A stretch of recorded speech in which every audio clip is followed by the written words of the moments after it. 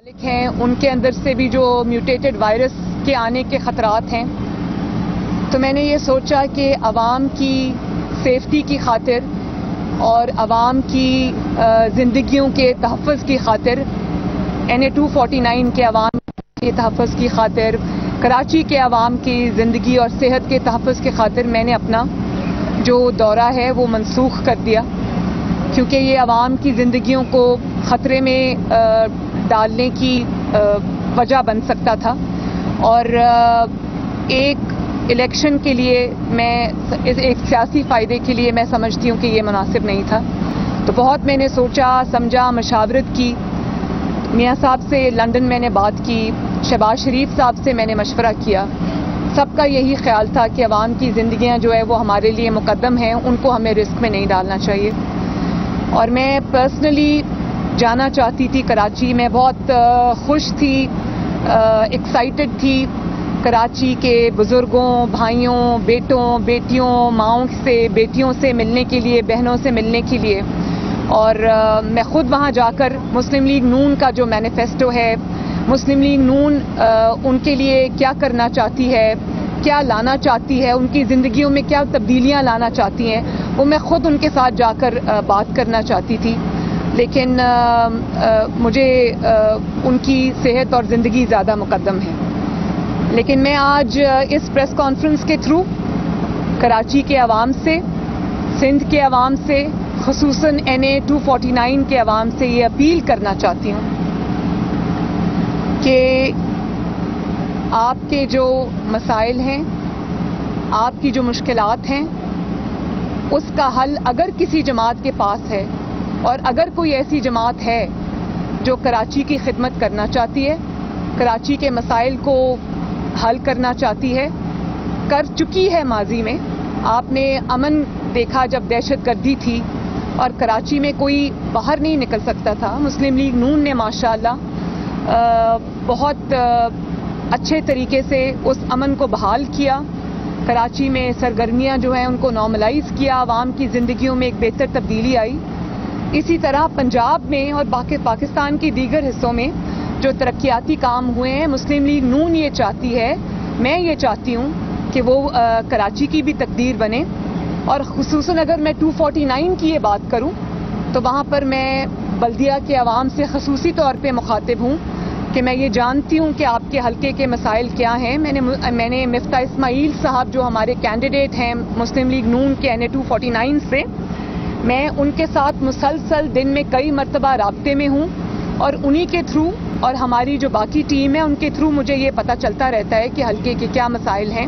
वहाँ सबसे बड़ा मसला जो है, वो पानी का मसला है और उसका जो वादे मुस्लिम लीग नून आज कर रही है वहाँ पर मिफ्ता इस्माइल साहब जो कर रहे हैं वादे, वहाँ पर पानी का मसला हल करने के लिए, दीगर मसाइल हल करने के लिए तो मुझे पूरी उम्मीद है कि इन ताला अगर मिफ्ता इस्माइल के हक में फ़ैसला आता है, जो कि इन मुझे यकीन है कि आएगा तो N A two forty nine के जो आवाम हैं, उनके मसाइल हल होंगे, क्योंकि मिफ्ता इस्माइल साहब एक बहुत माशाल्लाह एक मेहनती और एक आला तालीम याफ्ता, ब्राइट आदमी हैं, जिनको जब पाकिस्तान की खिदमत का मौका मिला कि वो अच्छी तब्दीलियाँ लेकर आए और जिस तरह उन्होंने N A two forty nine के अवाम के साथ मिलकर दिन रात कैंपेन की है मेरा ख्याल है कि अगर किसी की कैंपेन सक्सेसफुल है या अगर किसी ने आवाम के साथ इतना वक्त बिताया है उनको रीच आउट किया है और इतनी ज़बरदस्त कैंपेन चलाई है तो वो मिफ्ता इस्माइल के सर पे सेरा है उसका।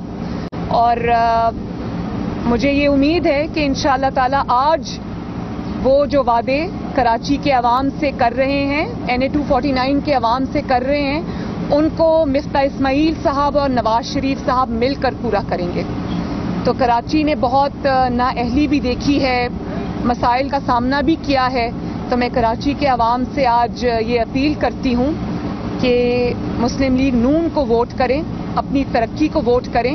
आपका भी हक है, क्योंकि कराची हब है पाकिस्तान का। इकोनॉमिक एक्टिविटी के हवाले से बिज़नेस एक्टिविटी के हवाले से तो मैं ये अपील करना चाहती हूँ कि अपने इस स्ट्रेंथ को पहचानें मुस्लिम लीग नून को वोट करें, अपनी तरक्की को वोट करें और अपने मसाइल के हल के लिए आगे बढ़ें।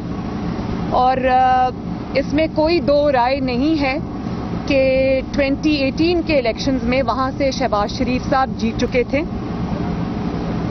और कई हज़ार की लीड से जीत चुके थे। फिर एक वोट चोरों ने डाका डाला उस इलेक्शन पर भी, पाकिस्तान के दीगर जगहों के इलेक्शन की तरह। और चंद सौ वोटों से धांधली करके शहबाज शरीफ साहब को हराया गया। और मुझे पता है कि आज भी N A two forty nine का दिल जो है वो नवाज़ शरीफ साहब और शहबाज शरीफ साहब के साथ धड़कता है। तो मैं N A forty, N A two forty nine के आवाम को ये मैसेज भी देना चाहती हूँ कि धांधली के ज़रिए जिसको आपके सरों पर मुसलत किया गया, उनकी कारकर्दगी भी आपने देखी। उन्होंने कभी आपके मसाइल में, आपकी मुश्किलात में, कभी उन्होंने आपके पास आकर आपका हाल नहीं पूछा।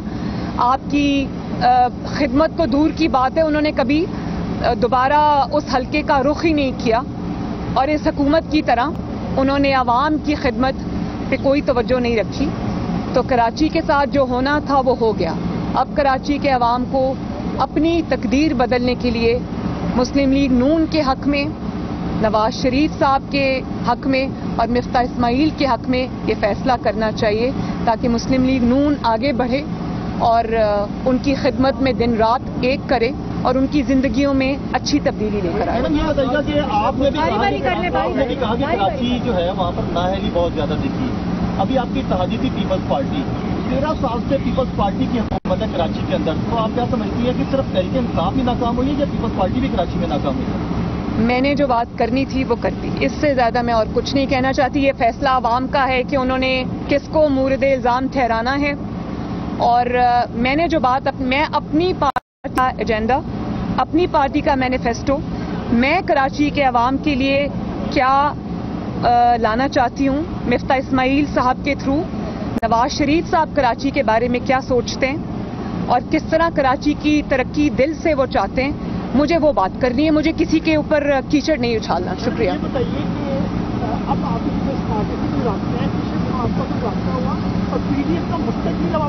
देख रही मेरा अभी अब लेट तो सेनेट के जो हुआ है उसके बाद मेरा किसी से कोई रबता नहीं हुआ।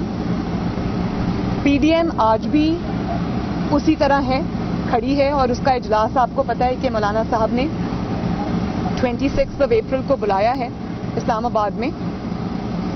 तो रमज़ान शरीफ के बाद पीडीएम अपनी जो नई स्ट्रैटेजी क्या बनाती है आ, किस तरह से आगे बढ़ना चाहती है आ, उसका फैसला हो जाएगा इंशाल्लाह। मुस्तकबिल बहुत रोशन है। उसका जो हालिया आपने देखा पीडीएम ने जो तहरीक चलाई वो भी बहुत कामयाब तहरीक थी, जिस तरह से पीडीएम के जलसों के थ्रू पीडीएम की नैरेटिव के थ्रू पीडीएम के जो पब्लिक मोबिलाइजेशन कैंपेन थी, उसके थ्रू, जिस तरह आवाम के जज्बात की, इस हुकूमत मुखालिफ जज्बात की जो आवाम में उबल रहे हैं और आवाम जिससे तंग आए पड़े, जिस तरह से पीडीएम ने उसकी तर्जुमानी की, उससे हुकूमत को बहुत ज़्यादा मुश्किल का सामना करना पड़ा और उसके बाद ये हुकूमत के पाँव जमे नहीं। जिस तरह से पब्लिक ने बाहर निकलकर पीडीएम के जलसों के अंदर और पीडीएम के साथ अपना सपोर्ट शो की, उससे हुकूमत को हुकूमत लरसती रही कामती रही, और आज तक दोबारा संभलने में नहीं आई। तो वो भी एक कामयाब दौर था, और इनशाला आगे जो पीडीएम फैसले करेगी, वो भी आवाम की तो की एन तर्जुमानी होगी इंशाल्लाह बहुत से लोगों को बहुत से लोगों को बहुत से बात तो होती है कि नूर से शीन निकलेगी लेकिन ऐसा कुछ नहीं होता।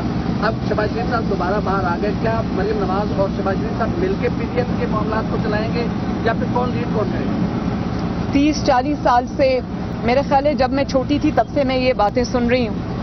नून से शीन निकलेगी शीन से नून निकलेगी ना नून से शीन निकली ना शीन से नून निकली, वो निकल सकते ही नहीं है। उसकी वजह यह है कि शहबाज शरीफ साहब और नवाज़ शरीफ साहब में जो ताल्लुक है और शरीफ फैमिली के अंदर जो वो एक दूसरे का जो जिस एहतराम और मोहब्बत और अकीदत में के रिश्ते से वो जुड़े हैं, इसका शायद अहाता या अंदाज़ा ऐसे लोगों के लिए करना बहुत मुश्किल है जो इसके साथ तो जोड़ के बैठे हुए हैं। और जहाँ तक सियासी बात है तो शहबाज शरीफ साहब का हमजा शहबाज शरीफ साहब का इस तरह से जेल में रहना और इतनी हिम्मत और हौसले से जेल काटना इस बात का सबूत है कि उन्होंने वो आज भी नवाज़ शरीफ के साथ उसी तरह खड़े हैं जमात के साथ उसी तरह खड़े हैं और नवाज़ शरीफ को छोड़ने पर तैयार नहीं हैं।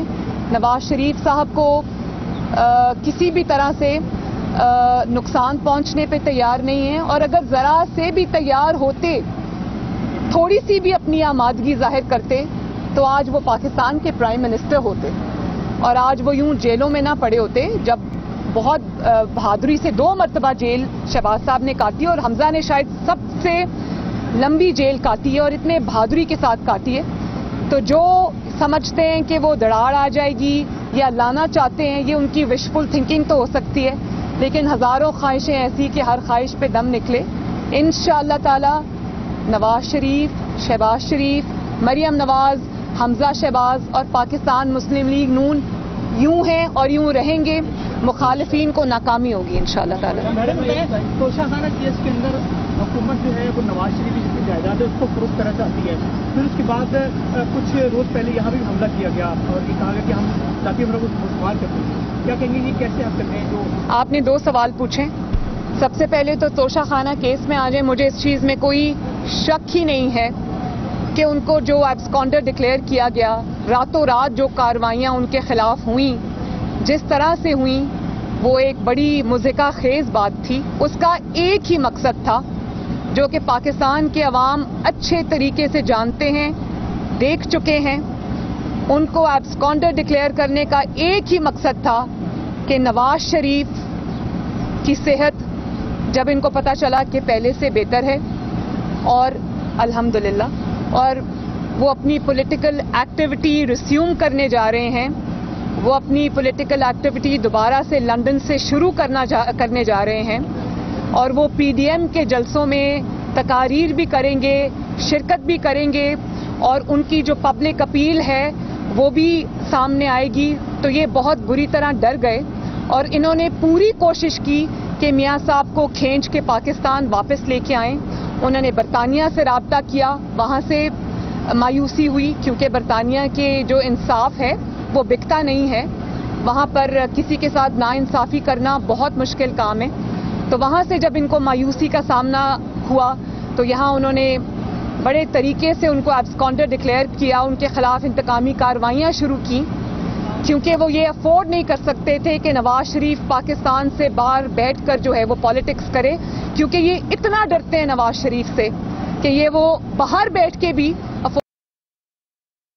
सही डरते हैं। इनका कोई कसूर नहीं है। मैं इनको इस बात में क्रेडिट देती हूँ कि सही डरते हैं। उसने नवाज़ शरीफ ने बाहर से बैठ के घर में घुस के इनको मारा और एक के बाद एक इलेक्शन अल्हम्दुलिल्लाह, अल्लाह की मदद से अवाम की मदद से उसने बाहर बैठ के इनको हराया।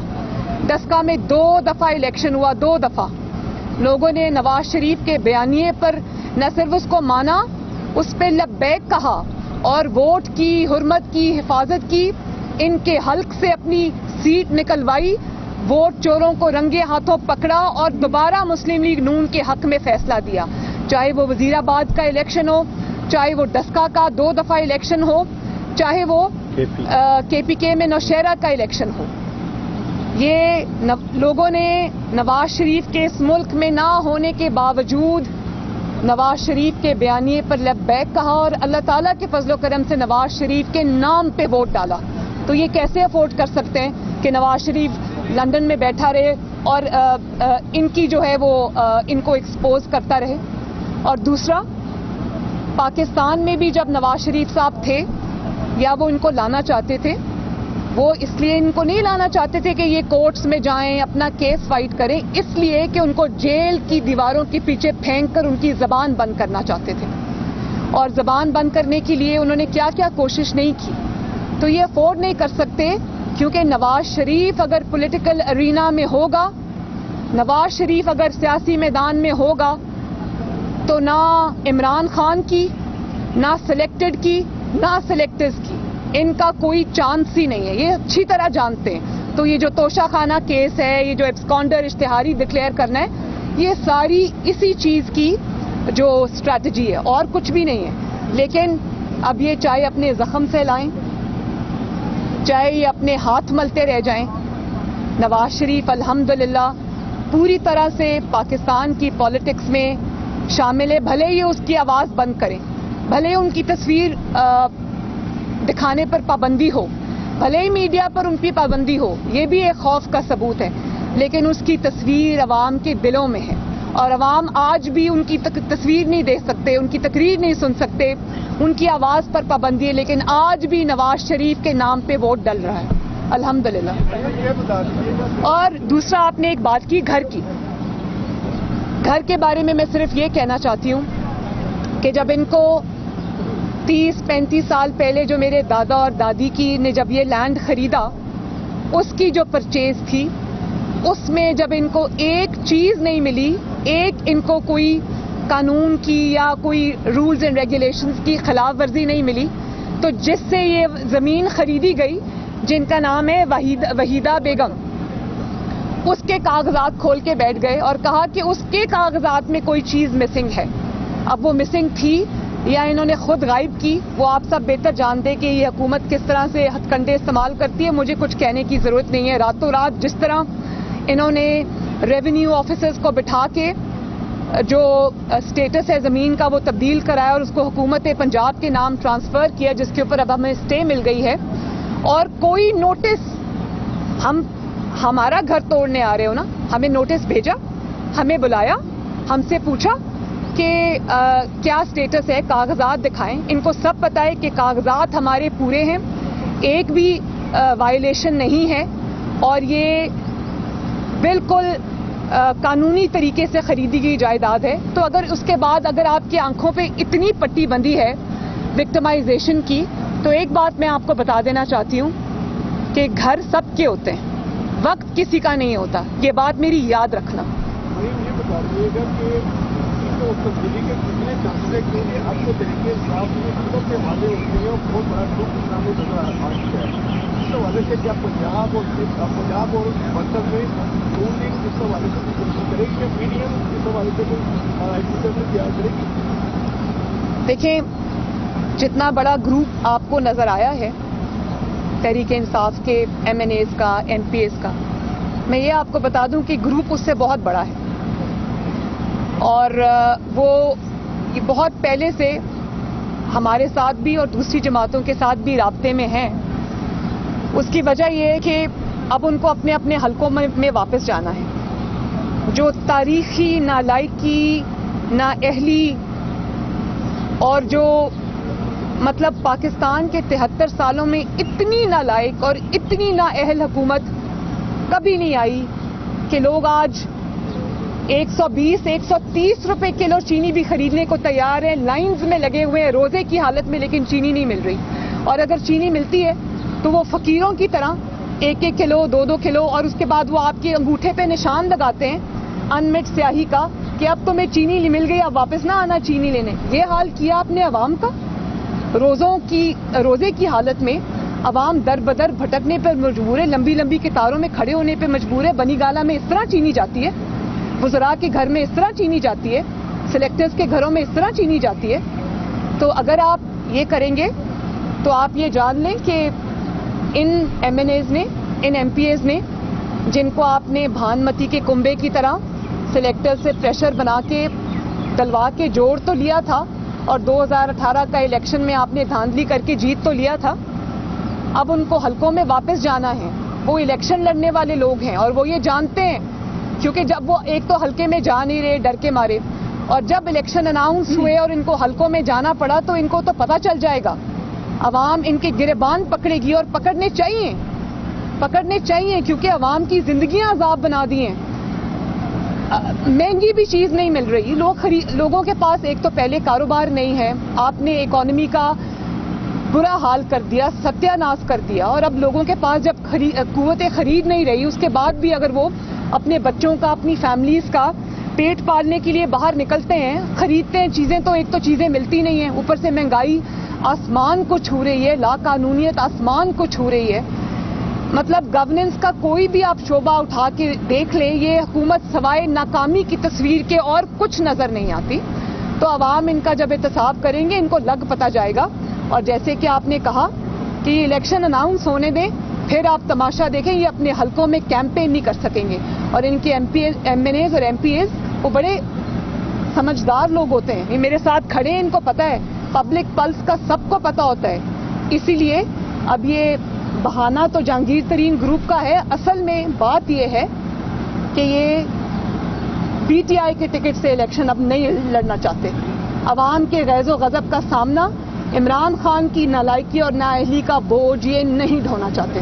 मैडम ये बताइएगा कि पीडीएम पीडीएम ने कोशिश की पीपल्स पार्टी को बनाने एक एक एक। एक करके करते हैं।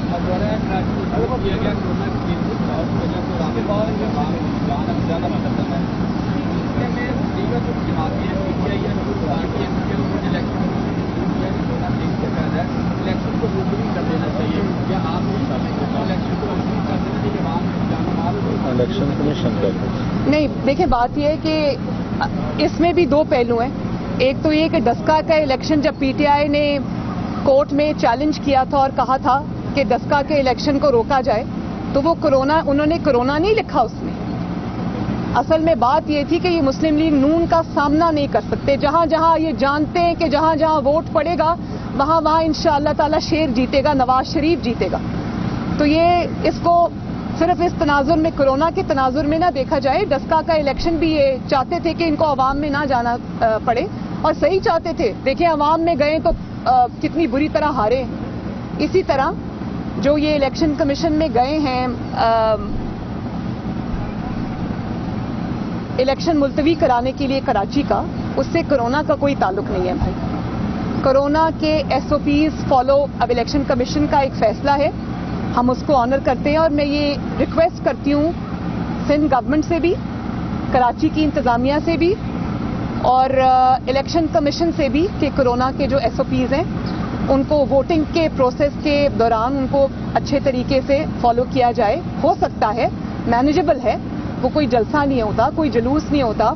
आवाम से कराची के आवाम से N A two forty nine के आवाम से अपील करती हूँ कि अपने अ, जो सेफ्टी मेजर्स हैं वो करके जाएँ वोट देने मास्क पहने हो सके तो डबल मास्क पहने बार बार जो है वो अपने हाथ भी धोएँ सर्फेसेस को हाथ लगाने से गुरेज करें। अ, लेकिन अ, जो कोरोना का बहाना है ना स्पेशली पीटीआई जब गई है कि ईसीपी में कि इसको कैंसिल किया जाए उससे भाई कोरोना का कोई ताल्लुक नहीं अगर उससे कोरोना का ताल्लुक होता ना तो पूरे पाकिस्तान में वो नज़र आ रहा होता कि ये कोरोना के बारे में कंसर्न है। मैडम ये बताइएगा कि पीडीएम पीडीएम ने कोशिश की एक उधर से भी ले पार्टी सारे यहाँ से ले हाँ। एक मिनट उनसे मैं पूछ लूँ वो पहले पूछ रहे थे। पीडीएम ने कोशिश की पीपल्स पार्टी को बनाने की। मौजूदा सूरत हाल में ये नज़र आ रहा है कि पीपल्स पार्टी नहीं मानी। क्या शहबाज शरीफ साहब जो है अपने तौर पे दोबारा कोशिश करेंगे पीपल्स पार्टी को बुलाने के? और दूसरा ये छोटा सा क्वेश्चन है आपने ज़िक्र किया था आपकी माइनर सर्जरी के लिए आपने लंदन जाना था। क्या मुस्तकबिल करीब में आप वापसी जा रही हैं? मैं इस बात का बहुत बार जवाब दे चुकी हूँ कि ये मुझे घर आकर भी अगर और ये चाहते हैं कि मैं चली जाऊँ, ये भी मैं आपको बता दूँ।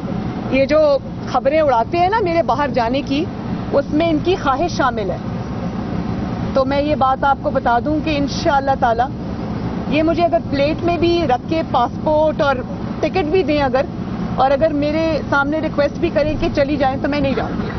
जब तक ये हुकूमत इन ताला अपने अंजाम को नहीं पहुँच जाती मैं यही हूँ। मेरा इलाज हो, हो रहा है हो भी जाएगा उसमें कोई इशू नहीं है। लेकिन इन ताला ये खुशी मैं इनको नहीं दूँगी।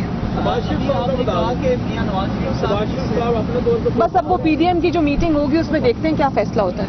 अभी आपने थोड़ी देर पहले कहा कि नवाज़ शरीफ साहब की सेहत पहले से बेहतर है और हुकूमत परेशान है।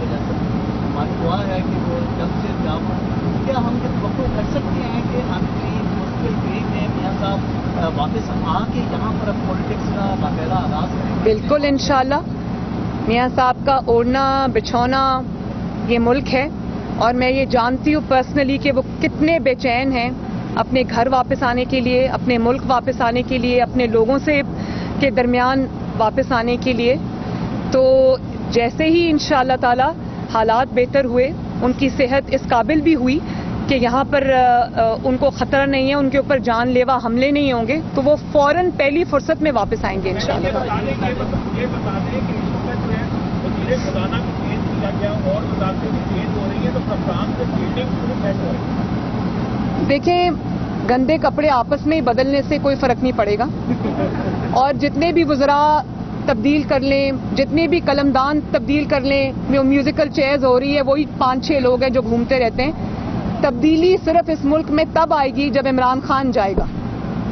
इमरान खान के जाने से बेहतरी आएगी, इस सिलेक्टेड हुकूमत के जाने से बेहतरी आएगी, आपस में कपड़े तब्दील करने से बेहतरी नहीं आएगी। ये अपने आप को बेवकूफ़ बना सकते हैं, आवाम को बेवकूफ़ नहीं बना सकते अगर कोविड की वजह से आपने पहले कोई जलसा मज़बूत नहीं किया पहले भी जलसे करते ही राजनीति करती रही है आपने ये जलसा मज़बूत किया और पीपल्स पार्टी इस वक्त आपके साथ नहीं है तो आपको लगता है कि कराची में दोबारा वो वाक्य हो सकता था जो कराची में पहले आपके होटल के अंदर जो आपके साथ वाक्य होता है शायद इस वजह से थ्रेट की वजह से आप नहीं जा- जाने की कराची के अंदर तो वो थ्रेट दो घंटे पहले नहीं था। मैंने दो घंटे पहले अपनी फ़्लाइट कैंसिल की है। सारी बुकिंग्स हो चुकी थी। मेरी सिक्योरिटी वहाँ पहुँच भी चुकी है। बात सिर्फ़ ये है कि पहले कोरोना इस खतरनाक हद तक जानलेवा नहीं था। जो म्यूटेटेड उसका वायरस इस वक्त है, वो पहले नहीं था। और अब वो ज़्यादा बढ़ गया और उसकी वजह ये है कि आप देख रहे हैं कि सड़कों के ऊपर फौज भी आ गई है रेंजर्स भी आ गए हैं। तो मैं नहीं चाहती कि मेरी वजह से किसी को कोई रिस्क हो। किसी को कोई तकलीफ़ पहुँचे। मैडम ये बता दीजिएगा कि सियासत के बाज़ार उसमें सियासत के बाज़ार है मिस्र में जाली सरकार बेचना चाहता है तो क्या नून लीग उसी को गोली लगाएगी बात यह है कि नून लीग वो बाज़ार में जाके खरीदार बनने के बगैर ही इंशाअल्लाह ताला बहुत कुछ कर जाएगी। मैडम ये कि क्या पीपल्स पार्टी से तमाम रास्ते बंद हो गए अब दोबारा बातचीत की कोई गुंजाइश नहीं रही? देखिए मैं इस बारे में बहुत तफसीलन अपना मौकफ लाहौर हाई कोर्ट के बाहर दे चुकी थी। शायद एक या दो दिन बाद जब ये अ, सेनेट का हुआ। मैं इस पर मजीद कुछ नहीं कहना चाहती। पीपल्स पार्टी ने अगर अपनी राहें जुदा करने का पॉलिटिकली फैसला किया है तो उसकी जिम्मेदार वो खुद है। उसकी वजह भी वजूहत भी वो खुद एक्सप्लेन कर सकती है। अ, ये ना होता तो अच्छा था। लेकिन मैं पीपल्स पार्टी मेरा हदफ नहीं है। मैं अपने अहदाफ बहुत अ, सोच समझ के और पॉलिटिकली बड़ा स्ट्रैटेजाइज करके अपने अहदाफ मुकर करती हूँ। उसमें पीपल्स पार्टी कहीं शामिल नहीं है। मैं मेरा एक बलावल भुट्टो साहब के साथ अच्छा ताल्लुक है। पीपल्स पार्टी के दूसरे मेंबरान के साथ मेरा एक अच्छा ताल्लुक है। और अ, मैंने एक वादा पाकिस्तान के अवाम से किया था। कि जो मुझे उस दिन कहना पड़ा सेनेट के लिए बाप से जो वोट लिए थे वो मैंने कहा। वो एक असूल की बात है। वो किसी की जात पर हमला नहीं था वो किसी पार्टी पर हमला नहीं था। वो एक असूल की बात थी जो मुझे करनी पड़ी। क्योंकि पीडीएम को के जो बयानिया था उसको उससे नुकसान पहुँचा। और अ, लेकिन मैं और जो डिवाइडेड ऑपोजिशन थी उसका तासुर गया जो कि नहीं जाना चाहिए था। लेकिन इस बात को मैं इससे ज़्यादा और बढ़ाना नहीं चाहती। आवाम इसको देख रहे हैं, कौन क्या कर रहा है, कौन सी पार्टी क्या डिसाइड कर रही है, ये जवाब उसको खुद देना पड़ेगा और आवाम को देना पड़ेगा, एहतसाब आवाम करेंगे। लेकिन मैंने एक वादा किया था पाकिस्तान की आवाम से और शायद कराची के जलसे में मैंने ये वादा किया था कि हम लोग पॉलिटिकल मैदान में लड़ेंगे इलेक्शन लड़ेंगे एक दूसरे के खिलाफ लेकिन हम एक हद को क्रॉस नहीं करेंगे। जातियात पर हमले नहीं करेंगे। बिलो द बेल्ट हिट नहीं करेंगे। और मैं आज भी बिलावल भुट्टो साहब के साथ पीपल्स पार्टी के साथ या दीगर जमातों के साथ जिसमें एएनपी भी शामिल हैं मेरे बहुत अच्छे ताल्लुकात थे। और अब भी मिलेंगे तो अच्छे ही रहेंगे। अ, हम उनके खिलाफ इलेक्शन लड़ रहे हैं। जैसे कि मैंने कहा एन ए में पीपल्स पार्टी हमारे मद्दे मुकाबल है।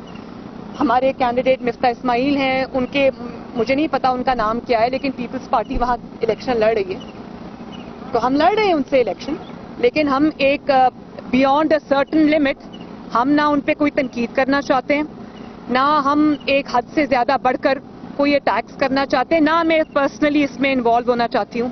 और मैं नहीं चाहती कि जो पॉलिटिकल आपकी एक आपका जो पॉलिटिकल कंपटीशन है उसको हम जाती लेवल पर लेके जाएँ। ये मैंने वादा पाकिस्तान के अवाम से किया था। ये मैं पूरा करूँगी इन ताला। हम पॉलिटिकली लड़ेंगे हल्के में लड़ेंगे आ, फाइट करेंगे इन ताला। लेकिन इससे ज़्यादा और नहीं। साथ? देखें जैसे हालात इंशाल्लाह बेहतर होते हैं कोरोना के। मैं ज़रूर जाऊँगी। अल्लाह ताला मिफ्ता इस्माइल साहब को फतह दे।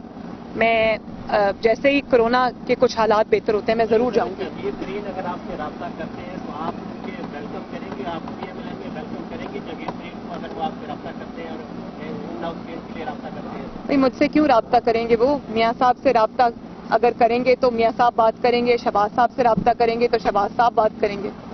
मेरा तो उसके बाद नंबर आता है ना कहीं। बात वेलकम करने की बात करेंगे पार्टी फैसला पार्टी और BNP के माइनस हो जाने के बाद हासिल कर पाएँगे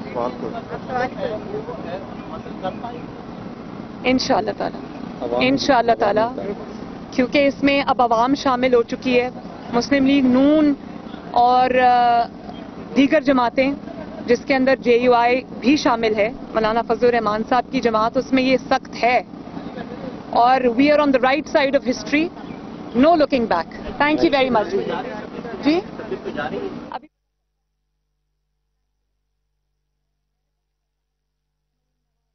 नाज़रीन, आपको बताएँ कि मुस्लिम लीग नून ने कराची में अमन बहाल किया। मरियम नवाज़ मीडिया से गुफ्तगू कर रही थी। इस मौके पर उन्होंने कहा कि धांधली करके शहबाज शरीफ को हराया गया।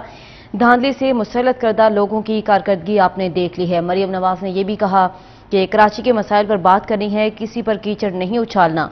पीडीएम भरपूर तरीके से खड़ी है और इजलास जारी है। इसके साथ साथ मरीम नवाज़ ने यह भी कहा कि पीडीएम की तहरीक बहुत कामयाब थी। पीडीएम जलसों के बाद हुकूमत संभल नहीं सकी।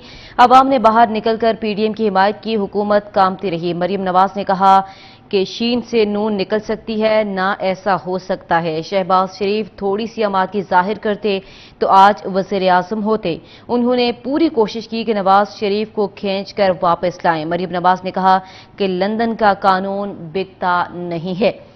रहनुमा मुस्लिम लीग नून मरियम नवाज़ मीडिया से गुफ्तु कर रही थी। इस मौके पर उन्होंने कहा कि मुस्लिम लीग नून ने कराची में अमन अमान को बहाल किया।